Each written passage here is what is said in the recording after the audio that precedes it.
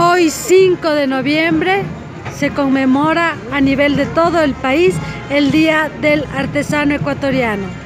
Es por eso que por las principales calles de la Sultana de los Andes se lleva a cabo una marcha por las diferentes agrupaciones que conforman este gran gremio de Chimborazo. Mecánicos, joyeros, relojeros, sastres, modistas, peluqueros marchan hoy al conmemorar su día.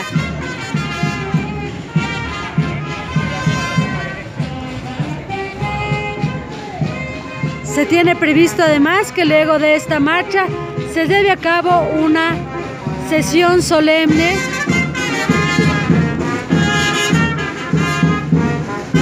en el salón de la ciudad.